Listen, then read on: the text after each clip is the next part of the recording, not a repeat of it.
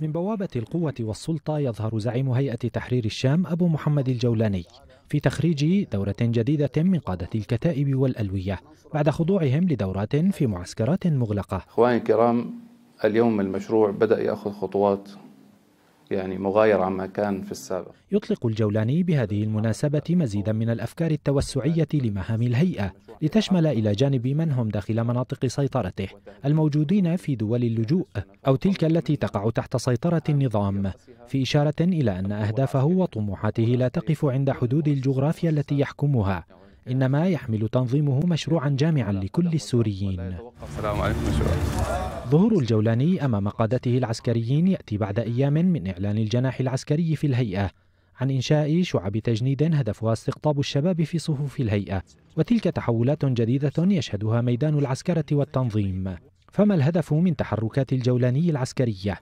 وما هي الخطوات اللاحقة لتلك التحركات؟ فإن الشرف إن شاء الله نلتقي فيكم يجيب القائد الأوحد في لقاء آخر عن أهدافه في التوسع ومزيد من السيطرة فيعلن صراحة في لقاء جمعه مع مهجري حلب.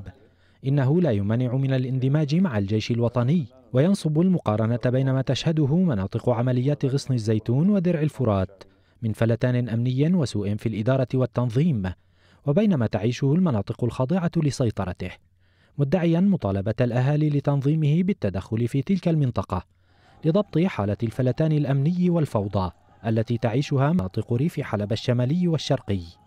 وتلك أهداف تتقاطع في سياقها العام مع أهداف غرفة عمليات عزم التي شكلتها فصائل الجيش الوطني.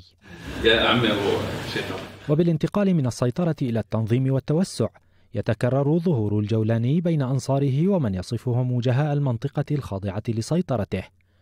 فيظهر في أشكال مختلفة وظروف متغيرة يوجه رسائل إلى الغرب أحيانا وأخرى إلى الداخل محاولا توسيع قاعدته الشعبية.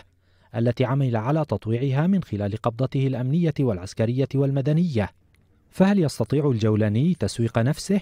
وهل تلقى تلك التحركات قبولا دوليا؟